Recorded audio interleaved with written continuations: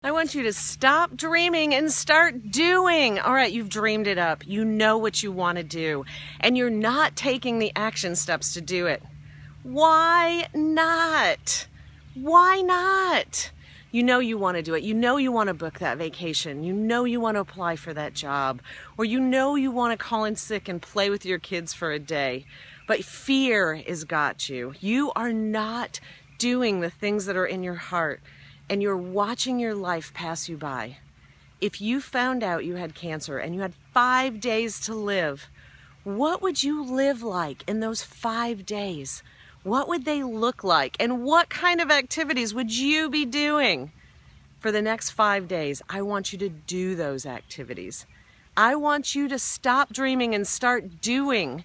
I want you to take action steps that move you towards the life that you want to lead.